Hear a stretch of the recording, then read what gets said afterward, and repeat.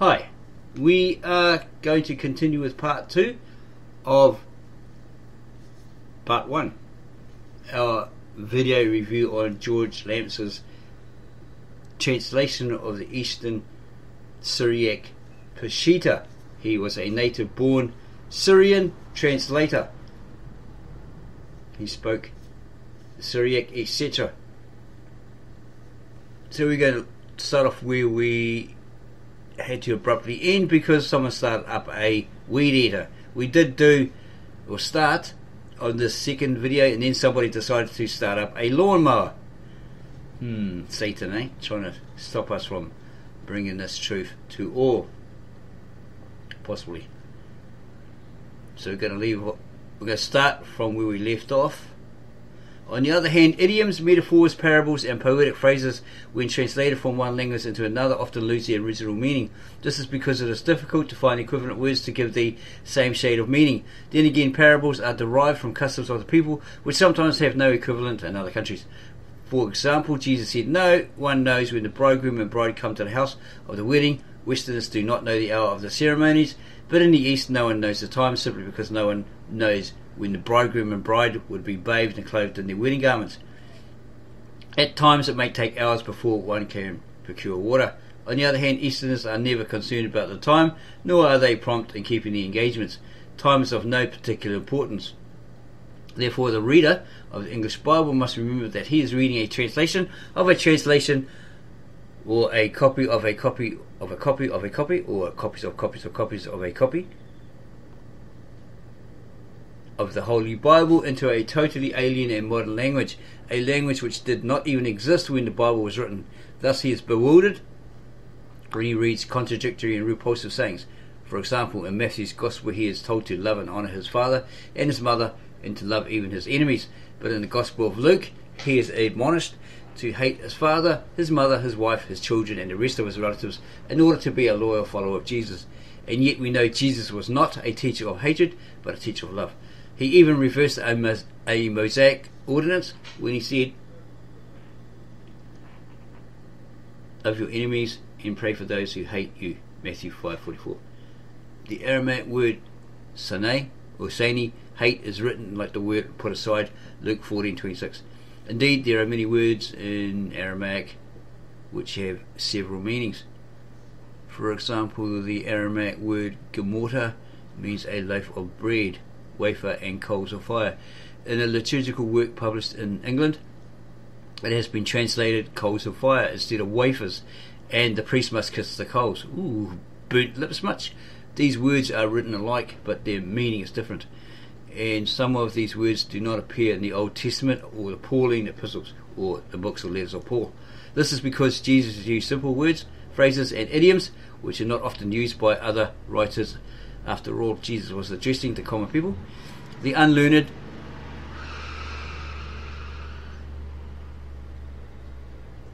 the ones whom the priests and Pharisees called the accursed people.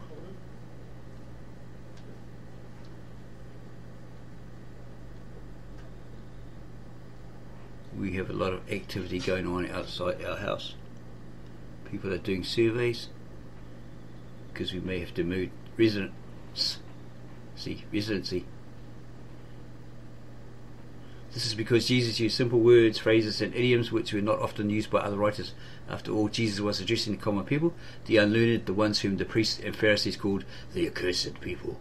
The Easterners knew that casting pearls before swine meant speaking words of wisdom to fools. All these figures of speech are still in use in the Bible lands, so they weren't literally saying, Here, throw your jewellery, your wife's jewellery, jewellery to these dirty pigs these swine. But in Western languages, words change and, like cars, become obsolete. In the East, we still say he flew over the river, which means he crossed the river. It doesn't mean he was a bird and he literally flew over it. Or he was in a plane and flew over it. All languages have similar problems. For example, many English words have several meanings fresh, peach, lead, saw, so, and light. The meaning of such words is always determined by the context. For years, missionaries have been confronted by many difficulties in converting Muslims or Muslims, Jews, and many other races to Christianity. They don't realize that among the greatest obstacles in the way of non Christians are the mistranslations and contradictions in various Bible versions. in the uh, Americanized English Bible versions, etc. The Western Bibles. Even ancient Christians in the Near East, Assyrians and Armenians, were horrified when they read in the Bible translations that were given to them that one must hate his father, his mother, his wife, his brother, and his children in order to be a follower of Jesus Christ. Hundreds of Bibles were burned because of such mistranslations. Some Westerners may say, when Jesus said thus and so, he did not mean it. Such an answer might be acceptable in the West, but not in the East. This is because the Easterners believe that the Bible is the Word of God, and they well know that the prophets, Jesus, and apostles meant what they said.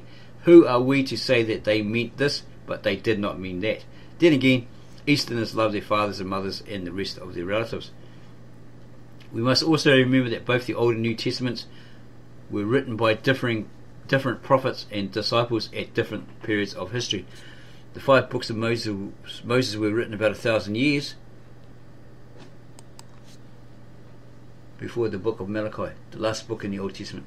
When Moses wrote here in the Hebrews were wandering in a harsh and waste desert, while Malachi was living and writing under the rule of a mighty and well organized empire, the Persian Empire, which has had championed the cause of the Jews uh, when they were freed from their slavery, their not being allowed to follow their texts, their holy writ, do their rites, customs, etc., etc. In Babylon, God appointed uh, a savior. He was not the savior as in Jesus Christ. If you have a look at uh, that particular chapter. It's got there, especially in the original ancient, very old uh, Old Testament. Yeah, uh, Tab Esrit, Aramaic and English. That he he was actually talking to the Muta, the manifestation of God, or the Son of God, and saying, I'm going to appoint this particular person as a type of Savior or Messiah. He's going to get those people, my people, from free them from Babylon, and he's going to take them to his country. Then they'll be able to do, uh, they'll be able to worship me, etc., etc., as they used to. And then Cyrus said to them once he did that, you're free to worship how you worship, etc and I'll even finance you, give you money and tools, the necessary materials to go back to Jerusalem and rebuild your destroyed temple. Some did, some didn't. So he was a type of savior. He wasn't the savior or the Messiah, right? As many Westerners may claim and teach that saying. Today we are living in a mechanical world. Okay, go up a bit further before the book of Malachi, the last book in the Old Testament, when Moses wrote he and wrote he and the Hebrews were wandering in harsh and waste desert, while Malachi was living and writing under the rule of a mighty and well organized empire, the Persian Empire. Under the rule of a mighty and well organized empire. The Persian Empire, which had championed the cause of the Jews, moreover, the world had advanced, had advanced in its cultural and its institutions. Therefore, the readers of the scriptures must know something about the geographical conditions, political situations, and the influences of the period in which any given portion of scripture was written. In other words, there were many current issues which both the writer and his original readers understood. There was no need to explain such issues and the underlying causes that had created them. Today, we are living in a mechanized world. The wooden threshing instruments threshing instrument is forever gone. Cars, trucks, and planes have replaced donkeys, mules, camels, carts, and oxen. Today, because of our scientific knowledge and our abundant supply of wheat, no farmer ties the mouths of his oxen. No one ever sees a donkey's mill or a threshing sledge, and many people have not seen Nas. Uh, that's um, like a mule, right? A donkey, a cross between a donkey and a horse, small horse, whatever. So no one has ever seen a donkey's mule or a threshing sledge, and many people have not seen an ass.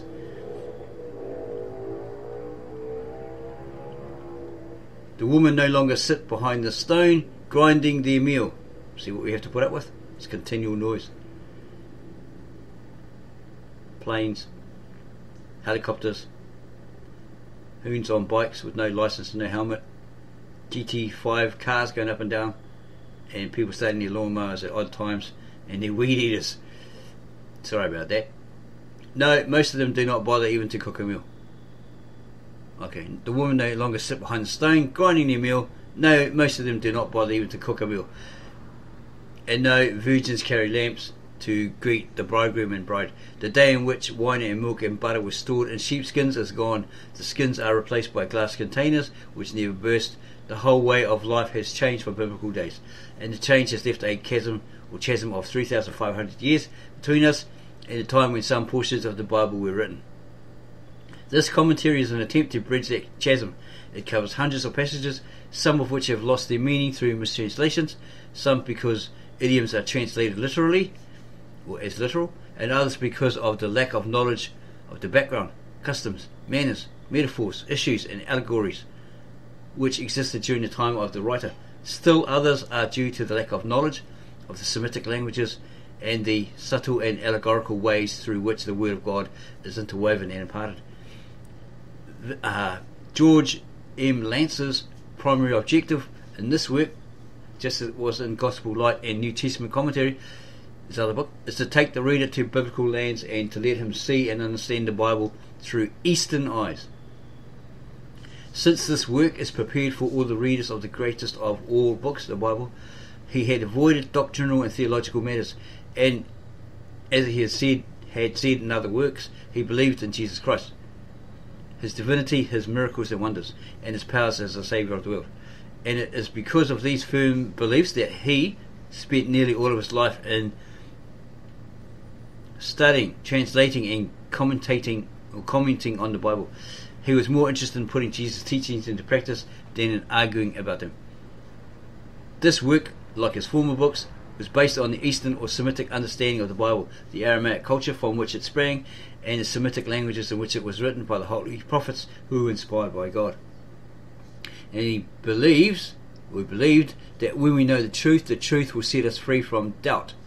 It will, it will liberate you, contradictions, controversies, and strife, and will unite us for a common cause to hasten the reign of God, the reign of peace, justice, and righteousness for which Jesus and the prophets died. Today is the day of decision, a crucial day. We must either save the world or see it destroyed, not by natural disasters and calamities, but by the implements we have devised with our own hands. Nothing but God's arm, God's light, and God's truth, which is in this book, the Holy Bible, can save us. The author is grateful to hundreds of men and women who have enabled him to complete this work in his translation of the Bible. He is also grateful to the United States, oh, this is Lamsa, was grateful to the United States of America and to its free institutions, as Victor N. Alexander was, because it gave them that freedom to translate, to do this work, etc., etc. George M. Lamsa